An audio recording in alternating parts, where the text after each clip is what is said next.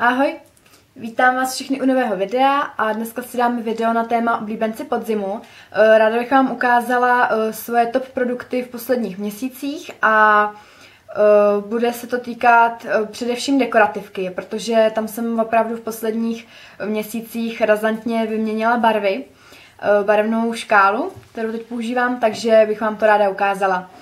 Uh, týká se to zejména uh, vínové barvy. Já jsem si ji teďka strašně oblíbila a to nejen na oblečení, ale prostě i v tom líčení.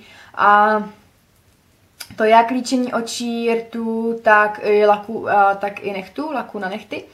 A tak vám ukážu pár produktů s, s touhle barvou, které jsou prostě mými favority. Uh, pak budou následovat nějaký, plet, nějaký uh, výrobky na obličej a zakončíme pleťovkou. Tak, jdeme na to. Eh, takže začneme třeba u rtěnek, uh, kde ta vínová má takový u mě teďka větší zastoupení. Uh, Prvním favoritem, prvním oblíbencem tohohle podzimu je rtěnka Rushin Law od Lancome.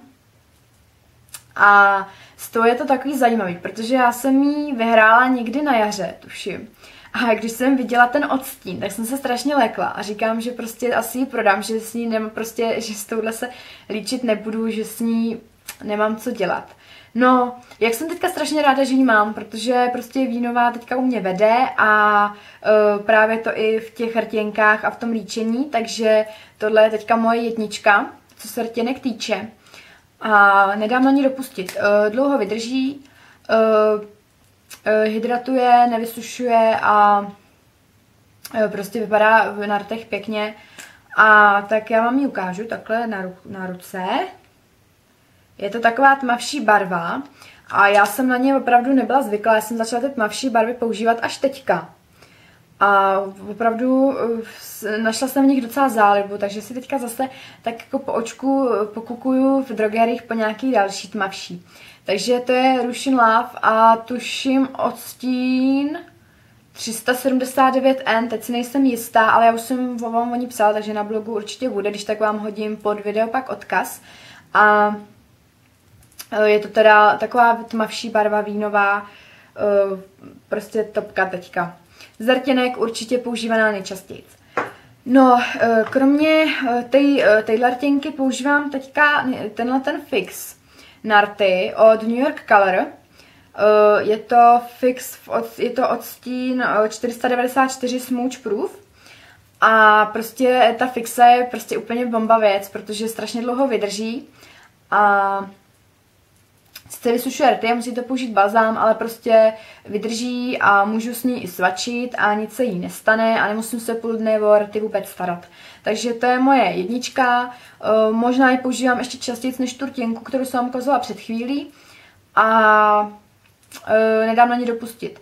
Zase, když jsem si ji kupovala, přinesla jsem si ji domů, tak jsem se s ní namalovala a říkám, že šmada, to je hruza, to je příšerně tmavý, já vůbec nevím, co s tím budu dělat. No a vidíte, zase to je moje jednička.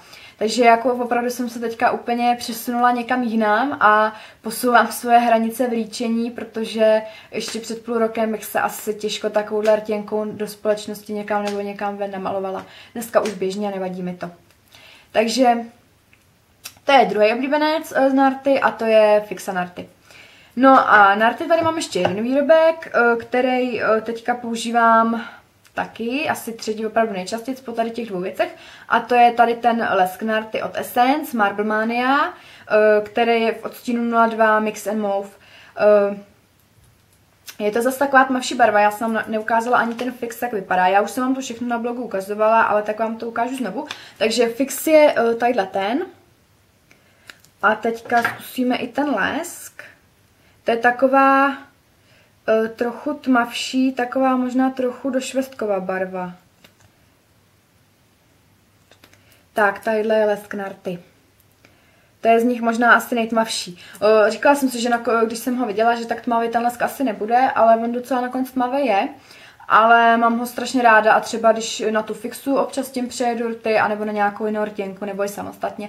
Je to pravda, že lesky teďka, když jedu v tom větru a mám rozpuštěný vlasy, tak nejsou vůbec nic příjemného, to určitě znáte, ale když mám třeba culík, tak neváhám a používám to na ten lesk. Takže to je třetí uh, můj oblíbenec uh, z uh, Narty z teďka na podzim. Opravdu tato, tyhle tři produkty jsou teďka skoro jediný, který používám. Já opravdu růžové rtěnky, oranžové rtěnky, to jsem odložila víceméně, používám je hrozně zřídka a teďka se věnuju tady tomu. Tak a u té vínové barvy ještě chviličku zůstaneme. A teďka bych vám ráda ukázala dalšího vínového favorita a to je tady ten uh, lak na nechty. Vidíte od Essence, uh, vidíte, že starší kolekce, mám ho z Loňská a je to tolik slavný odstín Time for Romance 72. Já vám teď nepovím, jestli je dál k dostání i v tom novém balení, ale já si myslím, že možná asi bude, ale opravdu nevím, nevím to jistě, takže když tak dejte vědět, jestli víte. A mám ho ještě půlku, i když jako používám ho docela často, teďka ho mám zrovna na nechtech, je takový jako nebude vidět. Třpitky, malý, velký, uh, trochu hůř se lakuje, úplně nejhůř se odlakovává, ale jinak strašně udělá parády a vypadá na nechtech strašně hezky. Takže to je tenhle ten lak na nechty od Essence Time for Romance. No a ještě jednu vínovou věc, kterou teďka používám nejčastěji, tady mám, a to je no, tady ta paletka. Ona není vínová, samozřejmě je víc barevná, ale používám teďka nejčastěji tady tu řadu vínových, anebo naopak tuhle tu hnědých. Uh, to je paletka od Elfu, uh, to kupovala jsem ji za 129 korun nebo tak nějak, 32 odstínů a úplně nejlepší věc, jakou jsem se snad kdy koupila. Žádnou věc snad nepoužívám tak uh, často a tak pravidelně, kromě samozřejmě make-upu, který třeba používám, až ho dodělám a to, ale ze stínu určitě jednoznačně nejčastěji používaná věc, nej, nejčastěji používaný stíny. Uh, já jsem jí teďka přes léto jsem jí tolik pozornosti nevěnovala, používala jsem jenom tadyhle takhle tu vrchní jako podkladový stíny, jako ten spodní, ale teďka už se prostě topka každý den, když jdu třeba do školy, nechce se mě nic vymýšlet, tak šáhnu tady po té paletce, uh, po těch hnědých a vínových odstínech. Už jsem koukala zase na další a přemýšlím, že si koupím ještě nějakou novou barevnou, protože si myslím, že tohle je prostě úplně perfektní kup od Elfu. Snad lepší kup jsem od Elfu, lepší věc jsem od Elfu asi určitě neměla a celkově to je tak jeden z nejlepších kupů, co jsem kdy udělala. Takže to je paletka od Elfu. No a přesuneme se pomalu k pleti. Uh, jak si můžete všimnout, začala jsem používat tvářenky. Já jsem ji opravdu dřív nepoužívala a ještě to s nima ani pořádně neumím, to přiznávám, takže zase si můžete rejpnout. Jsem tele, ale konečně jsem se odvážila na ně a troufla jsem si na ně a začala jsem je používat. Začala jsem růžovou, kterou tam mám někde schovanou, ale to není ono. A tak když přišel balíček Ladybox, tak jsem se strašně radovala, když jsem tam našla tvářenku. Určitě, kdo máte Ladybox nebo kdo jste viděl nějaký video s tomu s Ladyboxem a takový, tak víte. Tvářenka Fleur de Santé. Přišla mi v odstínu Chestnut Glow, takže já když jsem to otevřela, tak jsem se trochu zděsila, protože jo, taky se určitě zděsíte. Je to cihlová barva, taková oranžová, docela tmavá. Ale říkám, no tak zkusím to, uvidím, co to udělá. A světe div se, ono je to úplně paráda, ono to vypadá na mě i líp než ta, ora, než ta růžová. Takže jsem neváhala a začala jsem ji používat, teďka je to, používám ji teď častěji než tu růžovou. Samozřejmě záleží na typu líčení, takže k nějaký eh, barvě, který, ke který se to nehodí, tak nebudu používat oranžovou, že jo. Ale teďka opravdu ji používám často, nepoužívám teda tenhle ten štěteček, to používám jiný, ale tvářinku vidíte, že už, no asi neuvidíte, že už tam mám docela hmátnuto. A je to teďka topka. Uh, už nějak tak pomalu bez té tvářinky ani nevycházím a opravdu musím přiznat, že tvářinka udělá hodně. Jakmile zvýrazníte tváře, tak se vám celá kontura obličeje trochu změní a vypadá to líp. Takže já vám můžu tvářenky, kdo nepoužíváte, doporučit. Tady tu vám můžu doporučit a článek na ní určitě bude, protože zatím jsem neměla často tam nějakou na ten blog dát, ale určitě se tam objeví. Takže se nemusíte bát a já vám ji můžu doporučit. Strašně dlouho vydrží, já opravdu ji mám na obličeji celý den, dneska jsem taky byla ve škole, vidíte, že ji mám pořád. Takže to je pro mě úplně pecka. A musím si koupit ještě nějakou růžovou. Přemýšlím si si potom do téhle značky zase. Takže to je tvářenka Fleur de Santé. Tak a milu strašně moc rychle, ale zase by to nebylo moc pomalý, že jo.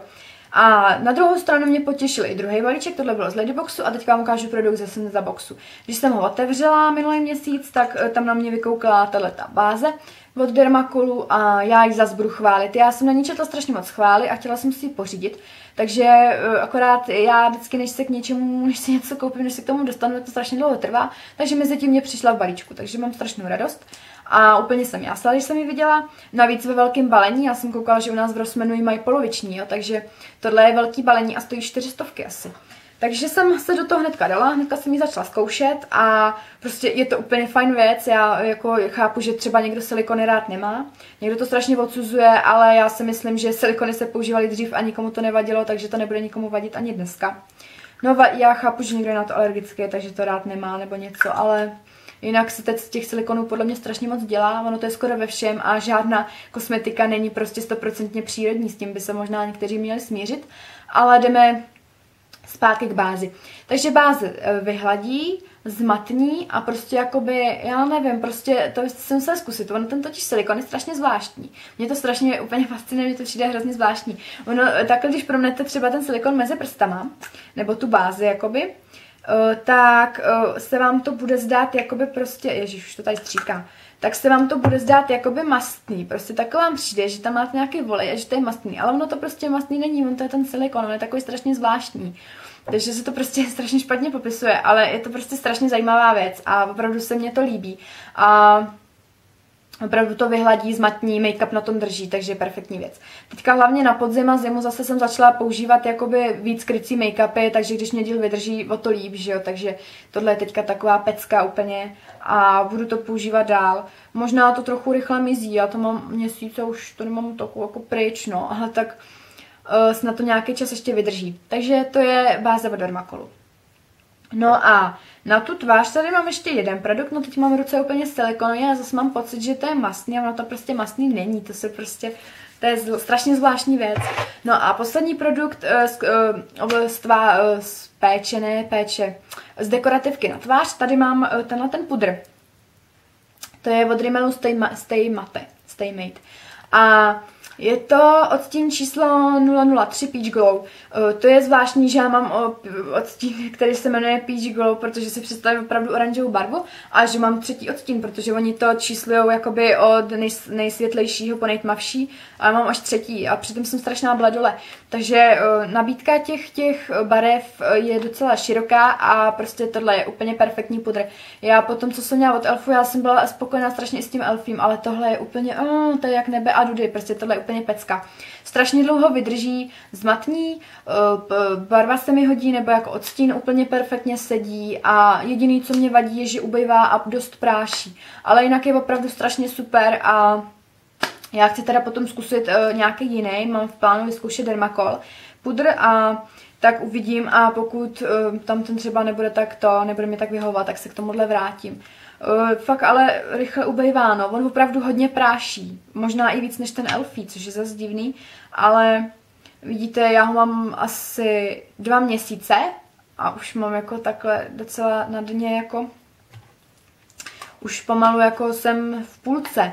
Takže to takový jako hodně rychlý a zvláštní, stojí kolem 150 korun, stov, kolem stovky, 130 nebo tak nějak. A ale vyplatí se za ty peníze, je opravdu strašně fajn, takže tohle je úplně další topka teďka z té, z té dekorativky. Tak a z dekorativky přejdu rychlosti jenom na dva produkty tělový a jeden z, toho už znáte a druhý budete brzo znát, až to někdy se píšu.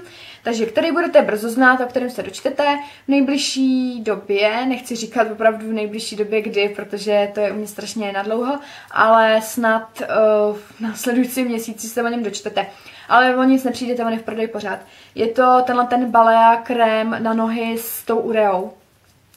Četla jsem o tom strašně moc, strašně moc chvály a já musím taky jenom chválit. Opravdu, eh, pokud eh, nevěnujete nohám takovou péči, třeba nemáte na to čas, nebo vás to nebaví, nebo cokoliv jiného, použijte každý den třeba pomítíte na ten krém a bude to úplně stačit. Eh, nebudete mít stvrdlý, stvrdlý suchý paty a úplně perfektně vystačující péče.